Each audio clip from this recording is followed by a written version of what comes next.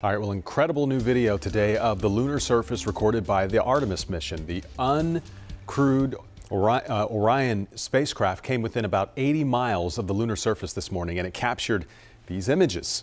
Chief Meteorologist Brad Panovich explains the significance of today's mission milestone. These are images like of which we have not seen for over 50 years. Now, new video today from the Orion capsule in the Artemis 1 mission made its closest pass to the moon during its 25 day mission. It flew by the moon just 80 miles above the lunar surface. NASA beamed back these pictures. And liftoff of Artemis 1. We rise together back to the moon and beyond. After many attempts, Artemis finally launched last Wednesday from Florida. The test mission has no human crew. Instead, there's mannequins aboard are recording data to indicate whether the flight will be safe for humans on future flights.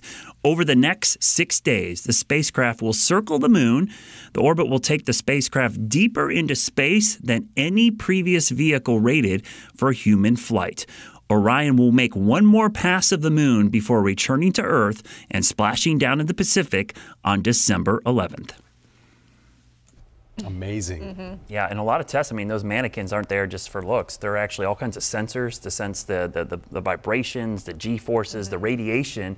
And then the key part here is probably the most important part is going to come on December 11th when they make the splashdown. They haven't tested the heat shield on the bottom of this, and it's oh. super thin. Oh boy! And it's the biggest heat shield ever created for that Orion capsule. So that'll be an important day when it comes down, and we'll see if it protects the crew in there or the mannequins. The mannequins. mannequins. They're, they're, it's kind of funny that, that they're. But there's a lot of experiments going on. Really cool mission, and it's a short mission. If they would have launched earlier in September, it would have been like a 40-day mission. Mm -hmm. Because of the launch here just last week, it's only a 25 and a half day mission. Uh, Is it because they launched late? Yeah, it's all about the orbital track that it oh. takes. So it's a much shorter mission because they're doing it later in the year. Yeah. So it's gonna be cool. I can't wait to see it come back.